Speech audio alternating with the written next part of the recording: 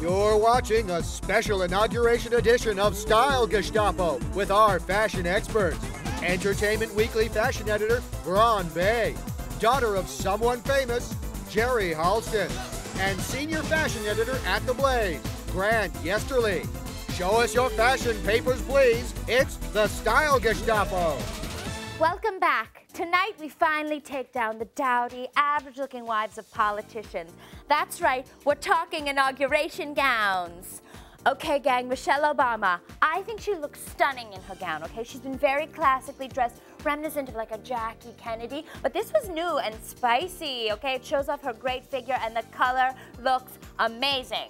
As someone who makes fun of what people wear for a living, as in that's my only job in life, I've got to say, just the notion of a ball gown on a first lady is kind of like, why do we fight a revolution against the monarchy? Am I right? All right, look, if you just accept the notion that Barack Hussein Obama was legally elected president and that those two people are married, I, I don't know what to tell you, okay? Let's move on to 1993. Here's Hillary Clinton. Benghazi. This color works for Barbara Bush, but I think it's too bold for Clinton's bulldog exterior. She's too bold. She's scaring me, okay? Stick with the green you wore at the hearings, Hillary. It was very warm and friendly. Totally. This looks very mother of the bride to me, I think. Not that I've ever been married or invited to a wedding, so I have no context for my comment.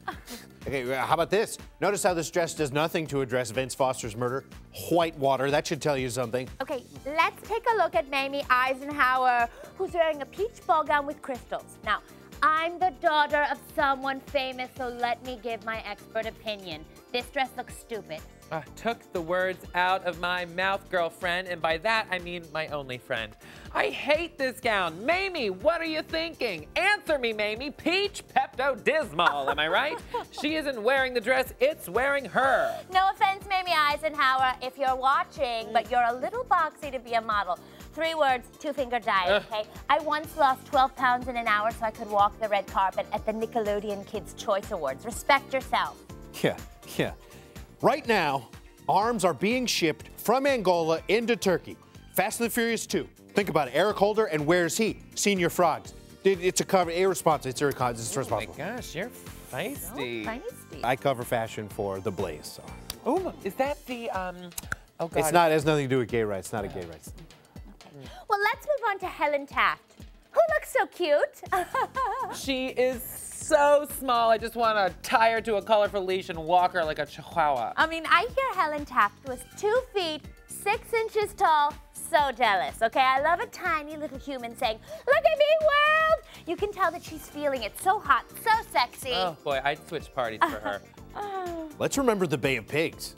Huh? Who's talking about that? Who's asking the question? Why a bay? No one is. Okay, finally, let's take a look at Martha Washington.